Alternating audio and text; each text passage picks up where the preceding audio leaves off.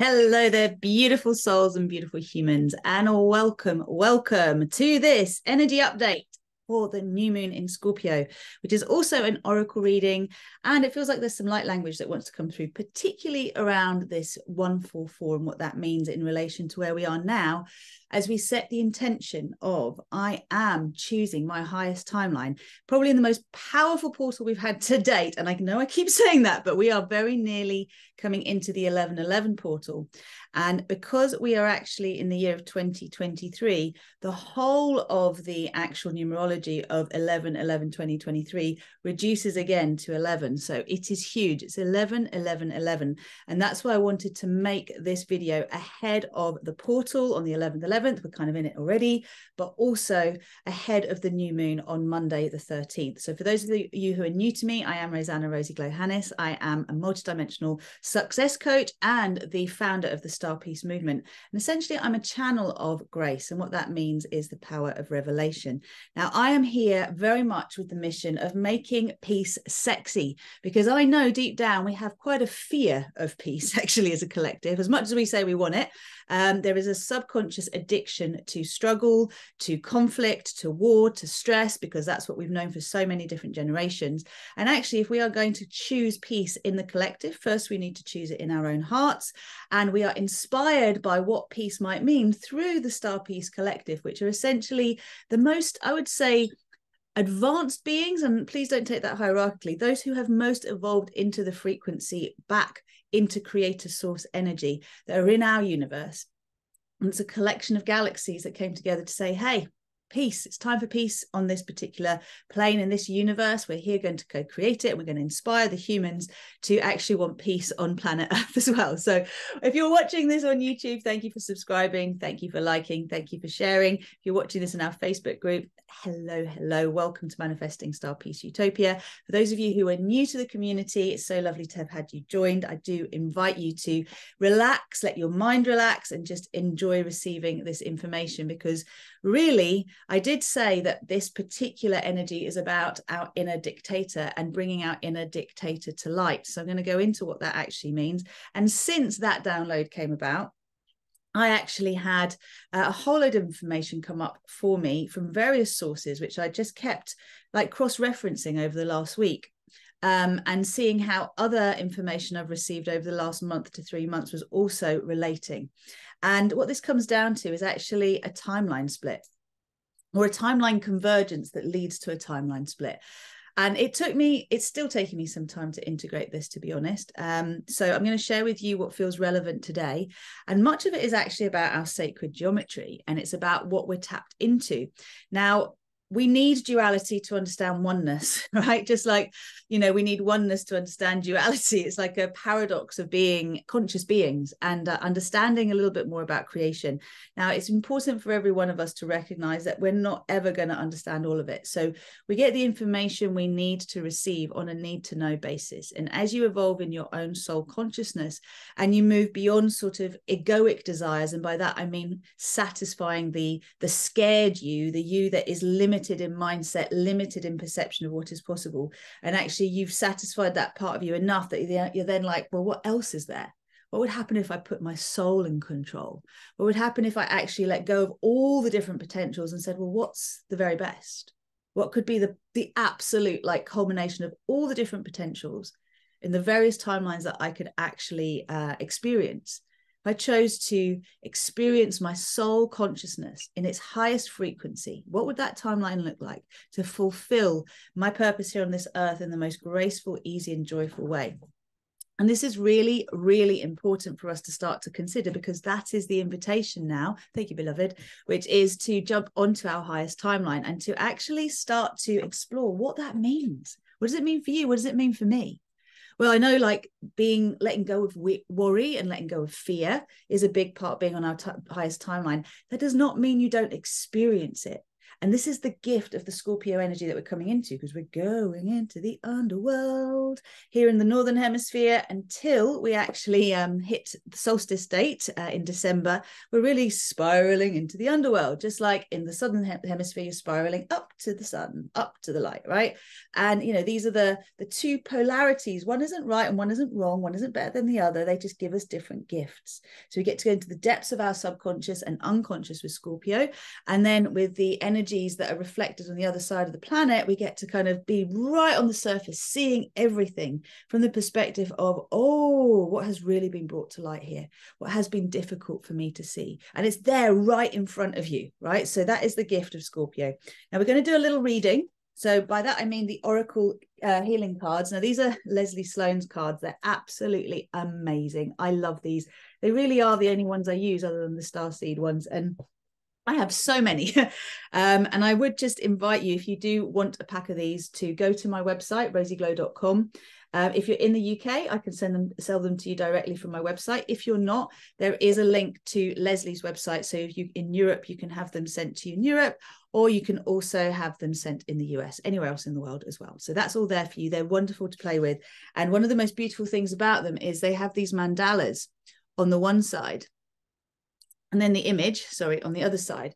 And you know this is the beautiful thing because i'm seeing the the flower of life on some of these right? And it's like being able to understand how our sacred geometry is a portal okay? What's important though to remember is at every stage of our growth we can sort of choose to stay where we are. And for a long while now i've been seeing the flower of life symbology in such a way that i've not really been attracted to it. It's something that drew me to the place that i am now and this is why I'm going to spend a little bit of time talking about the hexagonal and the octagonal timelines, because it's a bit like, you know, we love to judge, right? We love to say this is the bad one, this is the good one. And I mean, the truth is, one of them is where we actually, you know, are staying connected to our ego programming and we're feeding off others, we're feeding off finite fuel. Whereas the other one is actually relating to our infinite nature, the renewable resource, the constant ability to tap into the divine source, all that is, whatever language you want to use. And as a result of that, not needing to sort of leave a deficit. Okay, there's a constant uh, recycling, if you like. There's a constant regenerating, which is is the difference between the, the the flower of life as we know it and the lotus of life, which is a toroidal flow.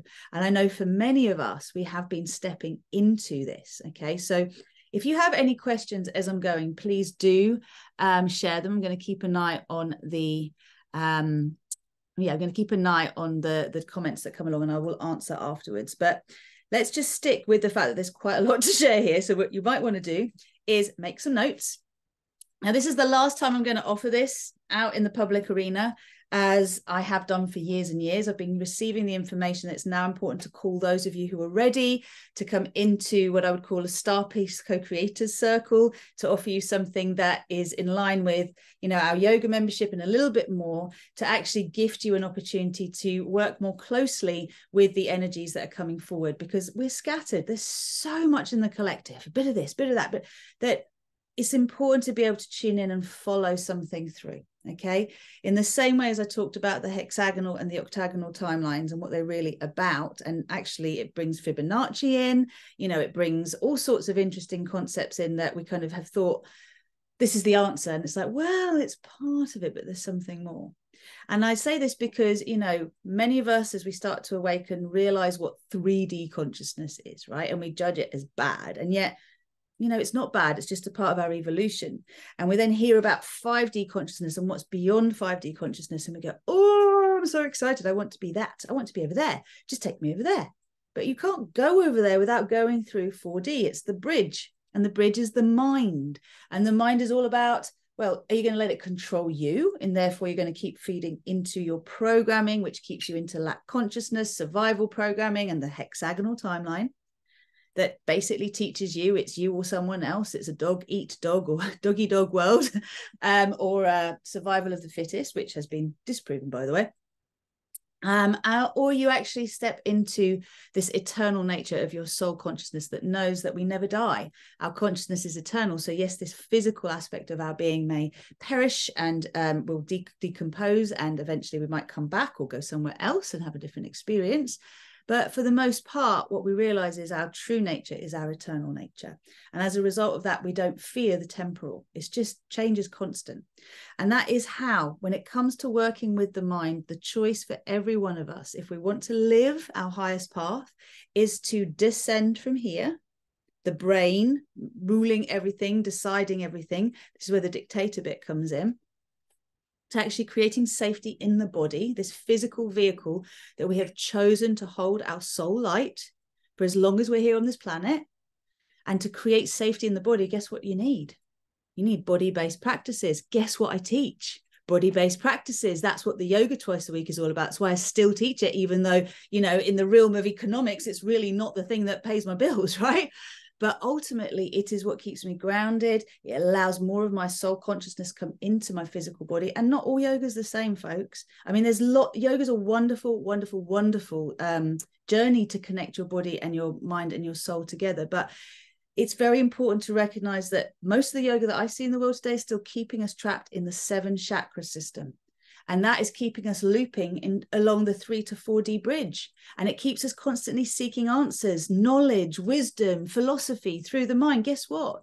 We're still disassociated. We've swapped mainstream religion for something alternative but we're still following those rules. Whatever it is ashtanga iyengar um, vinyasa whatever it is right? And i've trained in many disciplines of yoga by the way. So what it comes down to is we need to create safety in the body. When we create safety in the body, we can calm the mind. Okay, when the body's relaxed, the mind gets calm. Guess what happens after that? You can then really tune into what's going on in your heart. And guess who speaks to you through your heart? Your soul. Okay, so that is the start of this exciting bit of news because ultimately the first entry level of my membership is going to be the cost of the yoga the monthly yoga so that is something to give everybody a chance to explore and there'll be different tiers because i'm going to show up for those who are showing up okay if you're showing up for yourself i'm here all right. If you're willing to participate fully, I'm here. If you have truly chosen your highest timeline, I'm here but I can't afford to be distracted anymore with everything else along the way. So this is your choice too. And I'm inviting you to say yes, because it's really important that we all get onto, on, onto this now. So thank you, thank you, thank you, Laura. I appreciate that. That's really beautiful. So Laura used to come to my physical classes. They're all online now, folks. And yes, I do run retreats where I offer physical yoga. And yes, I do one-off days. And yes, I will go where I'm called around the world if I like the idea of it to be able to offer this multidimensional yoga perspective because it's come from being a yoga teacher for 22 years now maybe a little bit longer, having trained in many disciplines, but also being a Reiki master, being a channel of divine grace, being a multidimensional success coach, and seeing just how important breath, sound, movement practices are and physical practices are for us to be able to really hold the strength, the physical strength to hold more of our soul body, our soul and our light bodies. Okay. So, very important. Okay, let's move into this. So, we're going to look a little bit more at what the energies are. Then I will pull the cards. Then we'll allow the transmission to come through, especially around the 144 any questions um, I will look at the the thread in the comments afterwards, and I will make sure I answer everything that's there. So just remind me at the end if you have had a question and I haven't answered it. Okay. And so, what else? All right, this inner dictator element. Now, one of the things about Scorpio, and by the way, I'm not an astrologer, I use the new moons and the full moons to help me to write the chapters to understand what's happening at this stage in terms of the energies. So, new moons intention setting, that will be our co creator circle intention setting. Full moons, we do the clearing up work for that intention. What subconscious resistance came up. So, that's how this has worked for all the years that I've been doing it. Okay. So, if you want to keep seeing where you've come from to where you're going to, these chapters really help for you to see. We've just come from an eclipse season, last 18 months, that was Scorpio, uh, no, it wasn't, it was Scorpio, I wrote it down, sorry, Scorpio Taurus. And now we're moving into Aries Libra. Okay, so different energies. And we're already being told that this is about relationships and it's about igniting a new frequency in our relationships. So the interesting thing about Scorpio is there's two symbols in terms of the animals, the symbolism. So you've got the Scorpio, it's got the sting in the tail that will poison you. It's not a very nice bite, you know, it's not, it doesn't feel good and it kills you, right? So that's one element. And then you've got the eagle. The eagle, the bird's eye view. Again, the eagle is a predator. So the eagle is uh, not something you want to be coming after you in the sky. Um, it knows how to swoop down with extreme precision and be able to target its prey. But also, what's very interesting about eagles is the journey they go through in terms of rebirth. Okay, so they'll go through a phase where they get to the end, if you like, of their first life, and then they literally pull out all of their feathers one by one and they smash their beak on the ground. It's a painful process until a new one forms, and then they literally double their life okay their lifespan in their in their physical bodies. Now how is this relevant to us? It's like the phoenix regenerating. I know there's a lot of spiritual teachers a lot of star seeds a lot of light workers a lot of luminaries in the world today who like me have been given the message that they have a new mission and actually what they used to do isn't working anymore if you're finding at this point in your life that you're just not reaching your your previous previous client base things are drying up in certain areas and you're like well what am I meant to be doing here? And you have a calling, you have a sense of the direction you need to go in, but your brain, your mind is arguing with you and saying, no, no, no, you have to do this first. You have to exhaust every possibility here before you go here. And this is this issue of trusting our divine calling, because when we're called, we're called. I'm on the fourth iteration of my soul mission, if you like. And this one has required the most trust, especially when you're given guidance and you go, all right, follow it, wait for that result. And then it doesn't happen the way you expect. And you're like, oh, where's this taking me? And it's taking you into deeper and deeper layers for yourself of your own presumptions, your own expectations, your own resistance, your own shadow. One of the things I'm going to be doing next week on Monday for the new moon is I'm going to be going through the essential mechanisms of aligning with your highest path because this is what all my coaching work is about. It's even what my yoga is about. Okay. And I've heard other teachers talk about the three brains in various contexts there's nine brains, my friends, that we need to get online.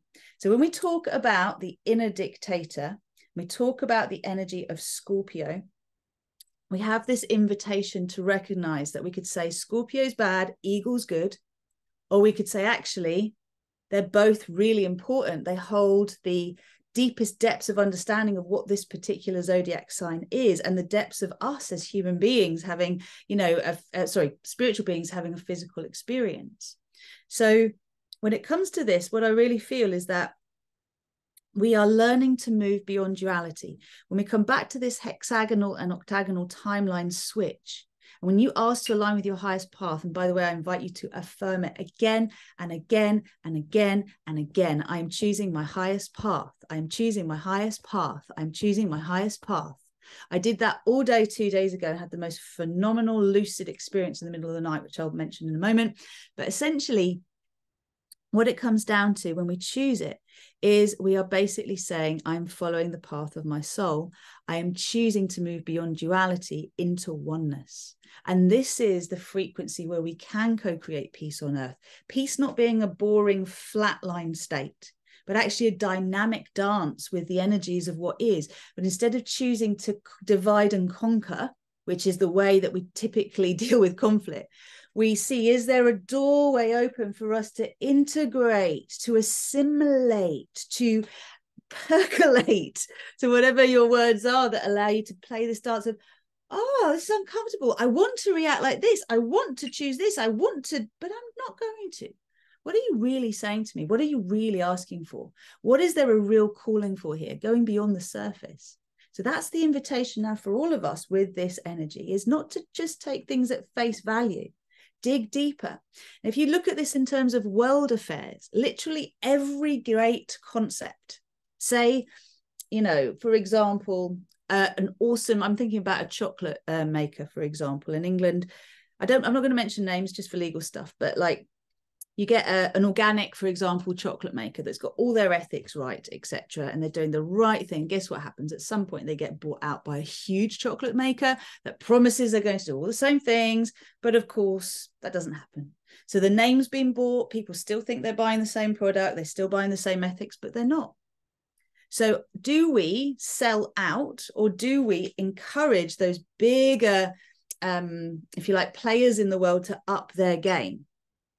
And as always, this is a situation where I think it's very important to remember that as anything gains popularity, it is you know going to take a life of its own on. And i say this as someone at the start of, of something you know that is a movement and wishing to well bring a movement out into the collective. That's what i'm doing. It's like okay well things can get distorted with time right? But if we're aware of this we can then be mindful of it. We're aware of it. So this concept of inner dictator is a play on words. You've got your inner dictator it's my way or the highway. Um, if you don't like the way it is then you can just go away. And there is a place for that actually. If you're holding a space and there are certain um, requirements for that space to be held and someone is coming into that space and not respecting it then they do need to go. That you are the space holder. You are the provider of the safety. And if that is not being um, honored then there is a boundary that must not be crossed right and that's why we do need strong boundaries fuck off fences and bullshit boundary barriers are very important and we need to respect our own boundaries or no one else will but then dictation is another play on the word dictator, right? I am dictating what you are saying. I'm writing down, I'm scribing. So the invitation again is who who is the dictator? Who is the part of you that is being listened to, right? Who is the one calling the shots and who is the one that is following that? And by that I mean mm, so it's a little bit differently. It's a lot here. Sorry, just bear with me for a second. So the part of us that is like, it has to be this way. There will be times when they're right, and there'll be times when they're not right. There's another part of us which is dictating, that's just writing down, writing down, doing whatever you're told, never questioning it. And that's what I'm talking about this play between the part of us that's the dictator, stating how things have to be, and the one that's taking down the notes, going, Are you sure about that? Is that really what you mean? Is that really relevant here? We need that dialogue and that questioning. And it's very interesting that in the world we're in today, we're not encouraged to think critically. We're encouraged to take ideas on, go with them, energize them, but not to question them. In fact, even on certain platforms, I will not say too much, um, things disappearing because it doesn't go with the narrative that that that these platforms actually want us to promote. So, you know, what happens? Well, people like me are like water through the cracks. We find our ways, right?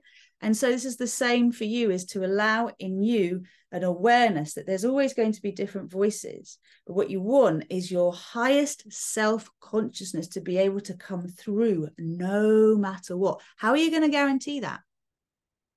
Simple, call it in. And one of my coaches say to me the other day, she's watching a video and said, she's like, oh, it's talking about this highest self-consciousness. It's talking about this highest highest path choice. How do i choose it? And i was just like girlfriend have you seen all the videos I've just put out? How do we choose the highest path? Please put it in the comments. How do we choose it? I'll, I'll make this easy for you. State it. I am choosing my highest path. It's really simple okay? You state it you claim it you command it you ordain it. You don't go oh is it a good idea for me to choose my highest path ah come on no more that stuff. Okay. Right. Let's whiz on. So we have a full moon in Gemini coming. Okay. We are currently living out some very interesting dynamics around the masculine and the feminine because we have just had the full moon in Taurus, which was playing at all of where do we feel secure and insecure, financial stuff, material stuff, relational stuff, feeling comfortable, luxurious, taken care of, etc. Before that was new moon in Libra both had eclipses, right? So the new moon in Libra was actually setting the scene for what's coming now as we're going to be moving out of the Scorpio energy. So um, we have Aries, I think I've said that right, and Libra axis that's coming, right? So why this is important is I noticed very quickly as we moved through from the new moon Libra energy to Taurus that these toxic patterns were coming up and they were reflecting our own inner masculine and inner feminine toxicity. I've made other videos about this. I'm not going to go on about it too much, but like, do we truly have? And if you do know someone that you would like to energize as a true example, put it in the comments for me. Do we really have an example of an exalted, let's call it resolved if you don't like the word, divine, but divine masculine, divine feminine, exalted, resolved feminine, exalted, resolved masculine. If we were to consider source all that is, God, whatever you want to call all that is as a masculine and a feminine counterpart, as humans, who would we say reflects that for us? Right? Because I don't think we really have any great examples. And, you know, we have women's lib, we have the rising of the feminine. I was talking again about this in my coaches meeting the other day. And it's like, let's just think about this for a second, okay? I know that there are plenty of humans on this earth that remember past lives, okay? Uh, for me, it comes in and out, it's not my forte. But I know I know intuitively that the matriarchal times were not balanced any more than the patriarchal times were balanced. And I was talking to another dear friend of mine, the lovely uh, Tara Love Perry, who's awesome. And we've got some exciting stuff coming up we're going to share with you. And basically, she does remember. and she was saying, Yeah, we weren't very nice to the men. We basically thought they were subservient. Um, we didn't think they were very clever. We were the seers, the oracles. So we just used them. You know, we used them, we manipulate them, we suppress them. Well, guess what happened? The pendulum swung. And if you actually want a sense of that, watch the Barbie movie. It's all laid out beautifully. Okay. So, you know, we have to move beyond duality to have peace.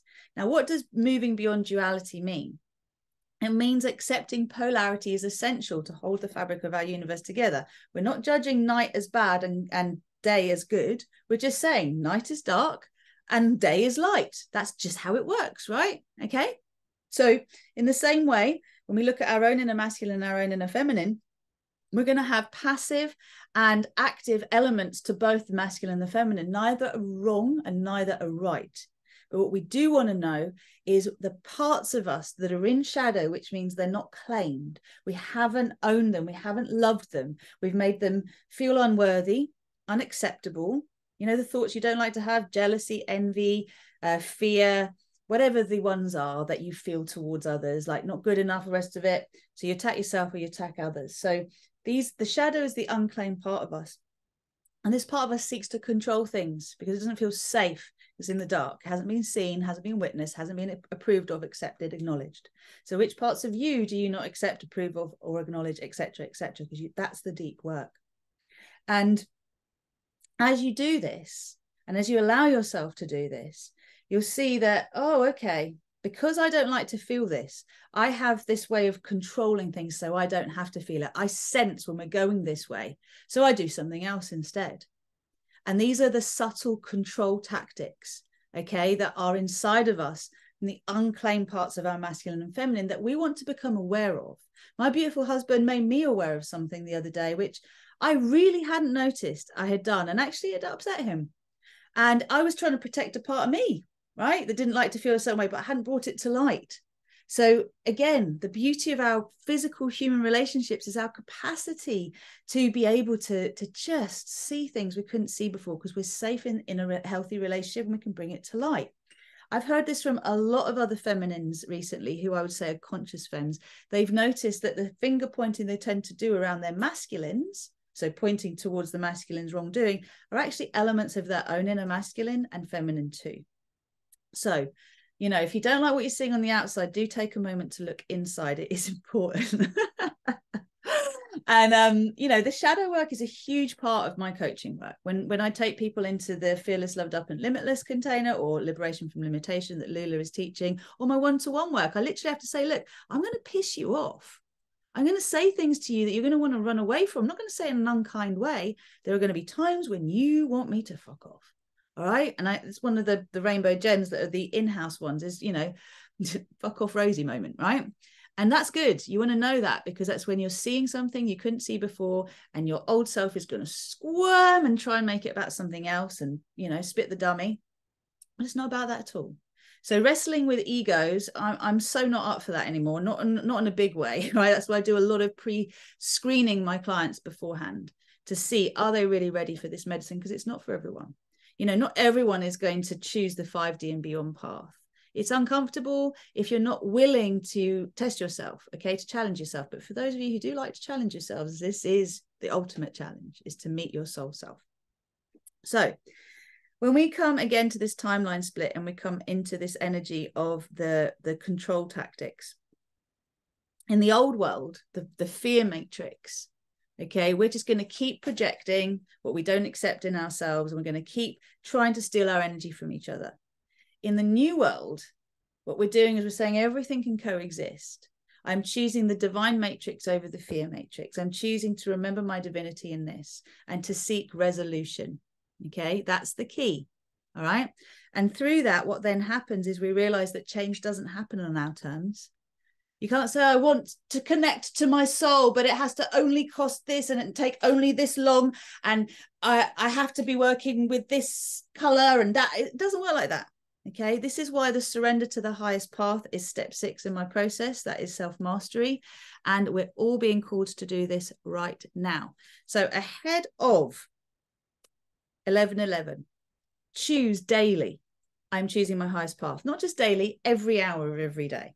Choose it. I'm choosing it morning and night. What does my highest path look like? I'm willing to surrender everything that doesn't belong to my highest path. And you know, the beautiful thing about our higher self nature is they'll just go eat as much cake as you want. Cake isn't good for you, but eat as much cake as you want until you get sick of that cake and you don't want it anymore. And I do believe that's how I've let things go is where no one's put an external boundary on for me, but I've had to get like have my fill of something that I thought I didn't want someone else or something else to take away before I go, what am I doing? This is not really what I want for myself. And then there's something inside of you, that inner authority that comes forward that goes, no, not doing that anymore. Done. You usually have to get to quite a low point before that, but that's part of the journey. So embrace it. Some good, I've got, really got to see what people are saying here. All right, finishing this off, and then we'll get into the clearing. So, um, the toxic masculine and feminine control patterns are coming up. They have to come up. When we get to the full moon in Gemini, we are again collapsing the hexagonal timeline. That's what we're going to be doing. That's going to be my last public offering for everyone before the new membership kicks in. So that'll be in two weeks' time after the 13th. Okay. And, you know, this is the main thing that I really want to encourage you to do is to remember any sign, any zodiac sign that has like two, like Libra, Gemini, Pisces. Think they're the main three. There might be others. But basically, they're always telling us about this inner masculine, inner feminine, voice of head, voice of heart, what we're going to follow.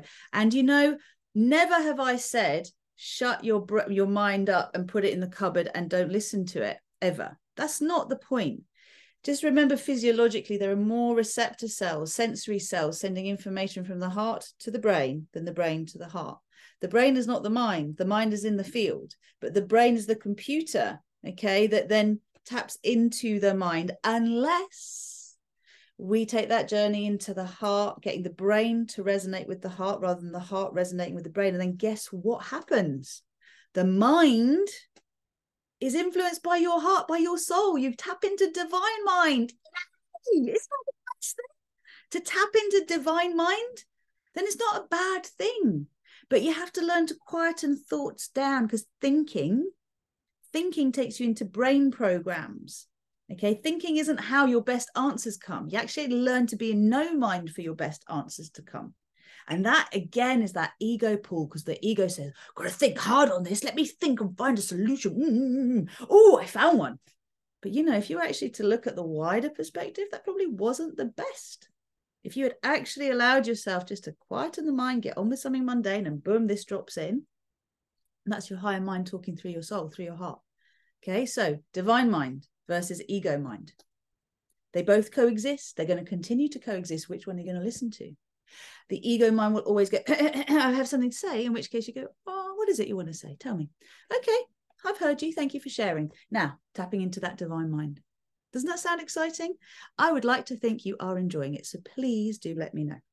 All right. So beyond this, ah, 144. So the interesting thing about this timeline convergence, and in fact, the Fibonacci, let me just see if I wrote this down connected. So um, it was Fibonacci, and crystal spiral. So the crystal spiral, K R I S T A L, crystalline grid, Christ consciousness. You get there's all this that's bringing us back to the divine. It's all been seeded for a long time.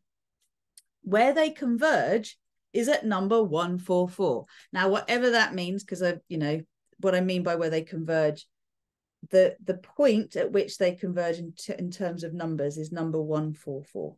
And this is where we are now. Today, 8th through to the 11th, 13th, maybe even through to the Gemini full moon, I, I feel, is this choice that we're all making. It's all the way to the end of this month. Okay, so take the 11th of the 11th. I, I don't think I'm going to do anything on that date. It feels like I just also want to receive my upgrades as well. But this is the information. You've got it all here. This is it. I'm choosing my highest timeline, thy will be done. I'm putting my soul in control. I am surrendering control to my soul. I am choosing my highest timeline, thy will be done. I'm putting my soul in control. I am surrendering control to my soul. Just use that as your mantra. Okay. Use that as your mantra for that day and then allow yourself to show up on Monday so we can talk about the, the mechanisms of living this highest path. Then you'll know what you have done and what you haven't done yet. And you can start to create a process for yourself because when you know what you're dealing with, then you can start to deal with it. Okay, so I think that's it in that bit before I go into the reading. Ah, no, that was it about the 144. Sorry. So 144, from my perspective, is the Codex for Peace. Now, I'll give you an example of how we can get lost in this, okay? So I know that there is a strong connection with the number 144 in the Bible um, in terms of the chosen ones, those who are going to come along, those of us who see ourselves as the peacekeepers, the peacemakers, those of us who are here to bring this thousand years of peace to the earth. Second coming of Christ, from my perspective, is through all of us choosing the Christed path, right? That's how it happens. Um, but there's also a very strong connection with twin flames. Now, this is where I would say the higher and the lower octave, just like with Scorpio, right? Just like with anything we choose in life, we can come from the lower part of us or the higher part. But the way that we really come from our higher part is to integrate the lower part of us, the shadow, into the light. You don't separate them, you integrate them, which is why I believe for so many of us, the only way out is through. You have to go through the hexagonal, or have had to up until this point, the hexagonal timeline to get to the octagonal. All right. It's a choice point in us. Are we going to continue to seek to manifest, use law of attraction for our own, like, you know, lack consciousness um, intentions, for want of a better word? Or are we going to just go, I trust I'm always provided for. Everything I need, I'll receive. How do I want to play in this world? And be much less attached to this amount of money means I'm a worthwhile person. Doing this, having this many clients, or having this amount of um, this, this amount of property, whatever you measure success by, right? Success is fulfillment, basically, and having your needs met on physical levels. So with the 144 and the twin flames, what I see so many people doing is like getting obsessed about meeting their twin, that they can't possibly progress until they meet their twin. And what I'd say to that is you will meet your twin through integrating your inner masculine and feminine. If you're looking to do this on the outside, you are so distracting yourself because they come when you're doing this work, right? Obviously, you have to recognize those who are um, responding to the call but are not the resonance. That's discernment, which you learn through clearing your subconscious, right? I'm seeing quite a lot. And I, you know, I always are when I say this in public, I think, okay, is this me as well? Because you want to always make sure that you are anything you're talking about, you're also self-reflecting. But I know I have been this person and that there's a lot of outer work and not a lot of inner work. So if we're showing up as spiritual teachers and channels and our inner self is not resolved to a level where um, we're willing at least to trust others, not everyone, not the public, but with our shadow and light, and to be willing to be seen, our vulnerability be seen, where we feel like we haven't got our shit together to be seen, etc., etc. That's so important.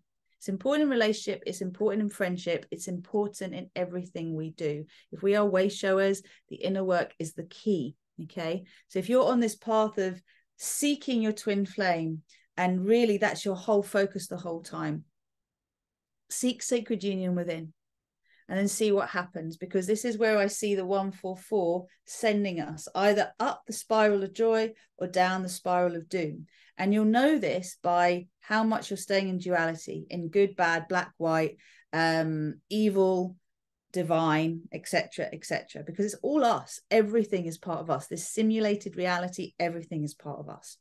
Now, as we're choosing highest timelines, a lot of fears are coming to the table. They're coming to the surface. Okay. So I had someone contact me today, as a dear soul that I recognize, and they woke up in the middle of the night with real anxiety. Now, two nights ago, I was going to sleep and I was choosing my highest timeline and I was listening to one of my co-creation meditations, which was about our inner magic man. And I've been in a big discussion with my uh, inner circle membership about what your inner magic man is, because it's a concept that I introduce and most people have admitted they don't get what it is. So we had to do a whole session on it and, and see what that really means. And I'm some of what I said today relates to that. But I discovered that, well, basically, I, I went to bed with this highest timeline intention. And then I woke up with this vision of basically a plasmic body of mine, my, which I called the, the uh, vampire body, which really is the part of me, which is the hexagonal timeline body, right? Had been basically annihilated. It's like a vampire being stabbed in the heart. If you've ever seen True Blood, you know what I mean. They they become this plasmic goo, right? And it was like that's what happened to me. I became that part of me became pl- plasmic goo, and my pillar of source light became super active. Um, and I did the meditation this morning and saw that my inner magic man is a portal, right? A golden portal with magenta and all sorts of other things going on. But I had to free myself from the shackles of that hexagonal timeline. And, you know, by choosing the highest path, that's what you're doing. So, you know, if you're finding stuff happening in the middle of the night, then trust, okay, is all I'm going to say. Just trust because what that actually means is you are starting to make those choices and changes in your unconscious. So delta brainwaves unconscious, theta subconscious, yeah, alpha allowing yourself to get into a state where you can really access all of your consciousness. So just allow yourself now to know that for the most part, the you that you think you are is who you've been programmed to be and we're now learning to choose our reality consciously as our highest self. So let's just see here for this new moon in Scorpio, for this 1111 portal, for this preparation for our highest timeline. What is this all looking like now? What does this actually mean? What do we need to know? What is it about? So for the collective tuning in, ooh, heart of the matter is all about surfing the cosmic ocean. Okay, this is really about learning to enjoy being in the unknown. Okay, so it's like a midnight surf operation. You got the lunation there of a rainbow moon illuminating the pathway through the dark. So your subconscious, your unconscious, giving you all the clues you need about where to go and where to avoid. The rainbow energy is very interesting because that's the flame that came through me that I initiate people into, and that is transmuting toxins. Okay. It's also about reclaiming all 12 strands of our DNA, which, you know, some people just won't really get, and that's okay. But that is what we're doing is learn to be the cosmic surfer, to enjoy surfing new terrain, exploring new terrain, not fearing what's at the bottom of the ocean, what you can't see in the dark, but trusting everything that you need to see is illuminated and you are therefore safe. Now, the block to this. So remember I said to you, for me, my um, inner magic man was blazing. That's the sword of fire. This is Archangel Michael, as I understand Archangel Michael. You could say it's also Saint George. Um, and you have this beautiful um, disc of light. So this being is, is got a shield of light and a sword of fire, of, of sacred holy fire. So, what is the block to this? Trusting in our divinity. Okay, allowing our true choice to be the true path, the highest path, which is the octagonal uh, timeline, and following it. So when we feel fear, when we experience fear, we know that fear is false evidence or emotion or expectation appearing real. Because unless there really is a dragon or a bomb over our heads um, or a snake about to bite us, we are actually imagining things either from the past, well, from the past that might be present in the future. So it's very important that we um, allow ourselves to trust in the courage that we have actually confidence in our courage is what i would say there and to call in the aspects of us that can work with fear, that can work with it and transmute it into passion for change. Okay, that's what we're here to do. Now, the here and now.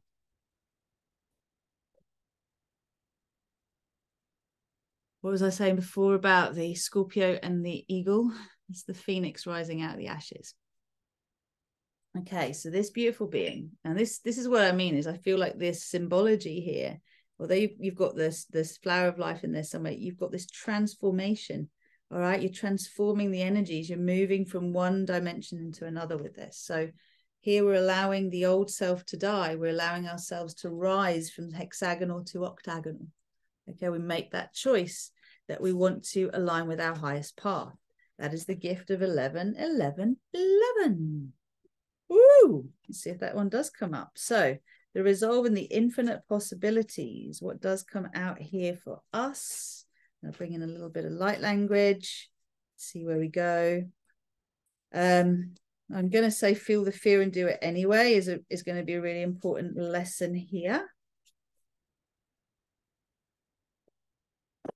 Oh, what an interesting card. So to end this, the resolving the infinite possibilities, this is the card of deprogramming. this is the card where everyone's like here in the conveyor belt, you know, working in a factory, just being a number, doing what you're told. And then someone has this boom, light bulb moment, epiphany, grace channeled. Uh, and they go, What am I doing here? Why am I doing this? There must be more to life than this. That's you coming out of the fear matrix hexagonal program into your octagonal timeline, into your divinity, into the lotus of life, into your eternal nature, running the show here on this temporal planet. Okay. I think that's very cool. At the top of the deck, you have St. Francis of Assisi, make me an instrument of your peace. At the bottom of the deck, oh, how fabulous. Everyone's a piece of the puzzle. Now, please forgive me for this, but everyone's a P E A C E of the puzzle. Ah! and this is the puzzle of paradise earth. All right, just before the little light language, let's just see what have we got here. We've got some afternoon. Hello, Jen, Gemma, Anne, Anna, Laura. Very good to see you all. Let's see what people are saying. Did you uh did you use yes, I did used to do these at the start of my yoga every class, and I still do online. Um, when I do my online classes, we always start with a little blessing and a little reading, just so you know, so we know what we're working with with these energies. Um, uh, Laura's saying your yoga is amazing. It helped me my healing my chronic health conditions. Oh, I'm so pleased to hear that. Hello, RC Simpson. Uh, I'm choosing my highest path. Put your soul in control. I know the energy though, just not in physical form. Okay, so um, Gemma's saying her feminine idea of, of like a divine femme is Tracy Holloway. I don't even know she is. I'm going to have a look. For me, the masculine that I love to connect this to is actually Bruce Lipton, or my husband. He's called, but Bruce Lipton, like just he just holds the energy of divine mind, as far as I'm concerned. Divine heart, femme, divine man, um, mind, masculine. And where are we? Shadow work is key to inner and external peace. I like that, honestly. What do you like that, honestly? Um, Jim is saying those fuck off moments have brought the, my biggest breakthroughs. Yeah, piece of the puzzle. Good. So no questions. Let's go into the light language. And please do remember anyone who's catching this as a replay, um, this will be um if you have any questions that come up, just put them in the comments and I will respond. One of my team members will let me know. Okay. So let's actually see what we've got here. I have a piece of golden calcite, which has come from actually it's honey calcite from um this has come from the retreat that we just ran, the Star Peace retreat. And this is called unicorn stone, which is a mixture of smoky quartz, lepidolite, and I think it is it's pink tourmaline. So let's just see what's coming in. If you want to just relax your shoulders, blow a few raspberries is going to call our higher self in. So please draw a circle in the air in front with your nose. Go the other way as well. Breathe the nose up and down. Gorgeous. And then inhale and just send your breath down your body, down into your earth chakra. Spin your earth chakra. Activate your earth chakra. And then take your awareness right down to the core of Mother Earth. Hello, Mother Earth. Hello, beautiful, beautiful energy from the sun that created this planet. Thank you, thank you. The star within, breathing this all the way up. Breathing out through the crown of the head, all the way up through our soul chakra, sun. Ooh, galactic, universal, multiversal sun, omniversal sun. Beautiful. Connecting to all that is, source, unconditional love, blessings, blessings, blessings. Calling in now the Star Peace Collective. I'm just calling our I am presence in. I am all that is. I am the one self I am. I am that I am. I am the source of my creations. I am the creator of my reality. I am the creation. I am a multidimensional being of love and light. I am choosing my highest timeline. I am surrendering. No, I'm putting my soul in control. I am surrendering control to my soul. I am aligned with the divine. I am that I am. I am that I am. I am that I am. Calling in now the Star Peace Collective, calling in now some guidance regarding 144 in relation to this hexagonal and octagonal timeline switch, and also any messages regarding 11 11 11. Thank you, thank you, thank you. May I be a pure channel of grace. Thank you, pure channel of source energy opening up now. Thank you. Ishtara ia hawana ya kuraya sura ya chichi ya hawana ya ki iharana ya sia asawana ya sura chi ishtara ya oya awana ya su Uhuraya aya arana ya sia ya chichi ya hawana ya oraya ya sua Beloved ones, we do laugh. We do laugh at how you love to understand everything and seek to make sense of everything. And yet we ask you to let go and trust, to let go and trust us. Yes, we know it's hard to trust, especially when you've been let down, when it doesn't look like things materialize as you wish, and when you are taking risks beyond anything you've ever known before. And we are with you always. We are always, always holding you, supporting you, and asking you, please, to hand back to us that which feels too much, that which you do not understand or know how to work with. We are here to help you to move through the density into the light. And 144 is key. 144 is the number of mastery. 144 relates to the frequency of nine, which is completion. It takes us from the eternal, the number eight, the infinity symbol, into nine, where we have moved beyond the eternal into the capacity to create again from a new perspective. Ishtaraya awanaya kuraya iawanaya siya yawanaya siya ashtaraya chichikiya haranaya ueya usturaya chi yawanaya suraya chi. So yes, we are all co-creating a new universe together. We are creating the universe of unity, one. Eight plus one is nine. Completion, nine, sets us back up now to create again a new frequency, beginning with the awareness now of oneness as our choice. We have experienced duality, gone through all of the frequencies from zero to nine. We are ready now to move into the unity consciousness of a new universe, to tap into zero point, to allow all that we have learned on this journey of separation, how separation creates an awareness of what unity is. And within the unity of a circle, a sphere, all other geometric shapes exist. Whether these shapes are of the hexagonal or the octagonal timeline, it doesn't matter.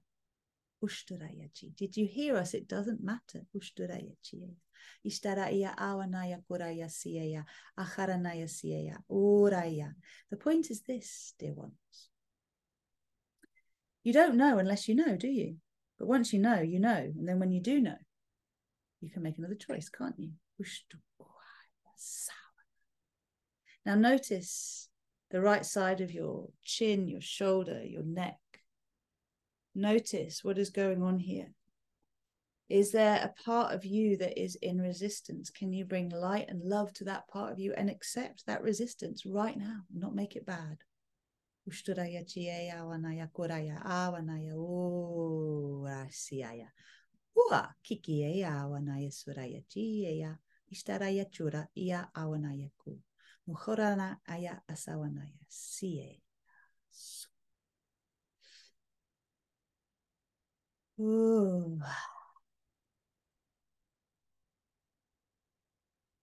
Just be with this for a moment. Wherever you have experienced tension in your body as this light language has been coming through, accept Bring your light, your love to this part of you. And know that everything is existing for your own divine enjoyment. Yes, I know this might sound hard for you to accept. The pain, the struggle, the stress, the longing, the separation, the conflict. Why does that exist for you? So you may choose something else. What do you want instead? Are you ready to stop? Are you ready to start something new? The moment you say yes, things change. And then the opportunities start to shift in your life. But you must make conscious choices, beloved ones, to step away from what you have outgrown and step towards what you want, what you desire, what you long for. So the key to this is go where you feel excitement, go where you feel joy, go where you can notice you have a sense of fear, but you actually have a sense of longing to move beyond that fear. Knowing that that fear would previously stop you in the past, but actually the version of you that you are longing to become is the version of you that embraced that fear, felt it, and moved through it to the other side they chose to embody the version of themselves they've never been before in this physical reality. Churaya Yawanaya Kuraya. 144. When you call this number in, it allows you to reconnect to the divine tapestry, the divine matrix. It allows you to communicate with your beloved sacred union ascension partner, with your sacred twin flame, whether they are in physical or not. We do not tell you to believe the world is flat or round. We ask you to accept it as both. Can you please now bridge duality, bridge the opposites with your being, with your consciousness, and accept it is all here? And what you focus on grows. Every one of us here now on this planet is being invited to receive divine guidance, to be the voice of peace to seek what is beyond conflict and challenge in the personal life and the collective. This is our message to you today. We are with you. We are you. We are part of you. We are all that is. And we have chosen to celebrate the light has won in our universe. It has won on this planet because it has won in you, beloved one. On this note, we say, as you move towards 1111, 2023. Enjoy. Have fun. Lift your frequency. Welcome what is coming. Open your eyes. Enjoy. Receive. So it is, and so it shall be. We thank you for participating in this co creation. We thank you for choosing your highest path. Until we meet again, we are complete.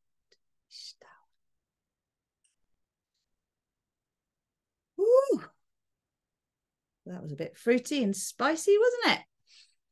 Coming back now, if anyone has anything that they would like to contribute to the commentary, all I'm going to say is two things I've mentioned to you are happening.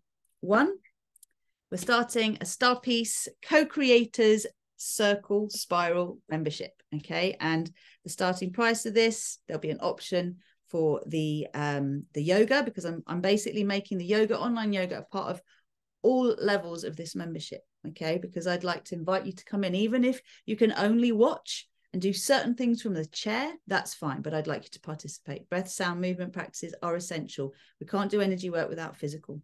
Just can't do it. It's not good for us okay? You know you don't do a reiki attunement from no attunement to master. You have to go through stages of initiation it's the same. Our bodies cannot just handle loads of our soul light in. They just can't handle it. It can send you loopy. Okay. So we need to anchor down. Now, I really felt a lot going on here, which was quite interesting. Whether that was something that was from within me or something I was feeling in the collective, I invite you to let me know. Anyone who's got stuff going on, on the right side. Ah, that's good to know. That's really good to know. Okay. So the light language, obviously, that I share comes through from a variety of constellations. Beautiful, wonderful soul. Janie, I didn't know I was going to do this, but this is um, a, a, soul image, if you like. I'll put Janie's details if anyone would like to connect with her. But this, she she channeled for me the various um, star constellations, the fat star families that I know I communicate with, and I've learned about many more as well through a, a galactic astrologer. And again, if you want those details, let me know. But essentially, you know, we can get these snippets of information. It's what we actually do with them. So, first of all, there's a membership coming just to be able to support people to progress through what we're doing in each of these new moon and full moon um, experiences. That's why I'm doing them again for the public so you can get a sense of what happens. I invite you to journal between sessions so you know what is coming up for you and to work with what I say. Couldn't remember, there was one of the I am statements I couldn't remember as I was doing that little uh, light language bringing in, but I said it a bit earlier on. So write those four down and work with them for the 11 11 11 portal. And um, the, the second thing is on Monday, the 13th, the new moon energy, I'm going to be sharing a free masterclass again this is the last one i'm doing like this because these will all be part of the membership depending on the level that you actually go for uh, which will all be about the mechanisms of living your highest path. So you can really see, you know, what you have done and what you haven't done. And it's as, as important that conscious millionaires and billionaires show up for this as it is for someone who feels they don't have a pot to piss in. Because actually, when you get a sense of what work you have done and what you haven't, and where you're going around in circles, and what your idea of um, your highest path is, it will really help you to then see what your natural next step is. Okay. So, both of those really, really important. Um, there'll be more information coming. So if you haven't yet joined my mailing list at rozyglow.com, R O Z Y G L O W, please do. You'll get the rainbow gems as a gift from me. And then you'll also receive the various emails. We'll probably be doing more through the Star Peace website as the book is nearly written. It's nearly finished. I'm taking the rest of this month to finish it. Um, and that is why I'm saying to those of you who would like to do some deep work with me, now's the time to book your desire mapping calls because I'll be kicking back up probably in probably in January, maybe before. Uh, but I'm feeling the energies right now, just finishing the book. However, I know that it can be a really big investment to actually just pay it all in one go. So for those of you who would like to start to split the payments, start to get going, now's the time. Okay, so this is four figure plus investment for the one to one. Sorry, for the group coaching, five figure plus for one to one coaching, and that's why I wanted to make you know something that was a two and three figure membership available to those of you who wanted that step up the ladder. The important thing is just do something. We can't be on the fence anymore. Okay, there's no more. I'm sort of on my highest timeline, but not really. Choose. That's why I'm doing this now. This is why I'm basically putting a wall around what I do and saying, "Are you in or not?" Because I need you to come forward now fully to receive these codes. Otherwise, they're just getting scattered in the ethers and they're not really doing anything. And they're not necessarily also ending up in the right hands. So, this is what's happened now to help us progress Star Peace as a consciousness, as a collective consciousness that we are co creating together. And you will have the opportunity either just to receive which is what the lower cost membership will be, uh, or to participate and co-create, which is what the different levels will be about. So it's all formulating. I'll have more on that on Monday, and then more on that again by the time we have the next full moon. Um, and for those who are in my membership, like people, I've got some people here who have been through the deep dive, um, the deep reprogramming, and are in my inner circle membership. They know the key is to keep showing up and plugging in. They know that this isn't a once a week thing this is an everyday and several times a day. It might be every hour of every day that we need to remind ourselves, which is where setting an alarm can be so useful, right? But it is literally embodying the version of you that you have connected with, that you've decided you want to be. That doesn't just come because you ask for it every once in a while. This is a full on commitment. And it's really exciting, but you have to get so fed up the old version of you to fully embrace it, right? So, what have I got here? Um, Jen was saying, I had to move my pillows, getting pain on my right side. Very beautiful, surrendering, releasing, and trusting. You're welcome. Free masterclass, choosing highest path, November the 13th. I think it'll be at 7 p.m. UK time, GMT, but I'll announce that later. I'm choosing my highest path timeline. I'm putting my soul in control. I'm surrendering control to my soul. Yeah, there was one more before that because I, I mentioned it a bit earlier, but I'll listen to it and we'll bring it in. Don't worry. For now, it feels like we are complete. Have I got any? Anything outstanding from anybody that you would like to share, um, let me know. If not, I am going to say goodbye. And so, for those of you who are on YouTube, actually, everyone, right? The exciting thing for me at the moment is it's time to start again releasing some of the podcasts that I filmed a bit earlier this year. And oh my goodness, I've been listening back to them. I'm like, this is so amazing. And we found one today I thought we'd lost, and I was so gutted because it was probably one of my favorite creations. So, you know, they'll they'll be coming up on YouTube, and I probably will start a Rumble account because um Well, basically, there's things we can say and things we can't say in certain avenues. And in fact, yeah, it's not even about Rumble. It's about being able to be part of a private membership that will allow you to speak truth in a way that we can actually really be aware of who's with us and who we're speaking with, okay, as well. So that's part of it. You're very, very welcome. So um, I also want to say to anyone who feels that my offerings are not available to them, particularly with this new membership I'm proposing, you just get in touch with me and you let me know what you can put down monthly and I'll talk to you about that. Okay. Because I'm not going to push people away, but I don't want to hear, you know, this has to now become an exchange. That's what I've been told. Okay. Is to show up for those who are willing to step forward and, and make a regular contribution to themselves through the work that we're doing, because this is what it comes down to. Okay. I love you all. You are absolutely amazing. I think I'm going to post my very good friend, uh, friends Megan and Olivier are doing a concert on the 11th of the 11th. It'll be an online one. They, are beautiful sound bath practitioners. That um, Megan's got lovely um, light language transmissions as well. So I will put the link to that because um, if you do want to do something that's going to speak to beyond the logic that's going to be a beautiful thing to do on that day okay? And i'll see you on monday. And then again i'll put the link to the desire mapping course for those of you who are like i want to do something. Let's get doing. Lots of love for now. Take care